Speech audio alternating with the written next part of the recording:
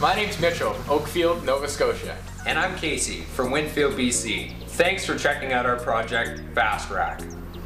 So let's face it, cleaning up after a party sucks. Scattered bottles leave stinky stains everywhere. Draining bottles is slow, and if you rush, you're likely to get splashed with beer or smash a bottle. So what are your options? Well, you can use garbage bags, but they're a mess. Bottles smash each other when they're put into the bag. The broken glass cuts the bag and leaks fluid on the home floors or in the back of vehicles when returning the bottles. Or you can use boxes. Bottles have to be organized neatly. If the bottles fall over, it'll weaken the box and the bottles fall through. It's brutal.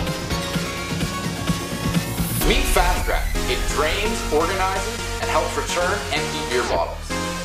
Bottles are inserted upside down, allowing them to drain. When Fast Racks are full, they can be stacked for easy storage and transportation.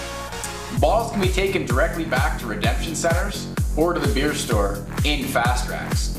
Or simply slide on empty beer box and flip the whole thing over. Fast Rack is awesome for home entertainment. In bars, kitchens, party rooms, recycling rooms, garages, in the backyard, at the tailgate parties, at the game itself, in the jacuzzi, pretty much anywhere you're having a cold one. Look at what happens when you place a fast rack at a social gathering.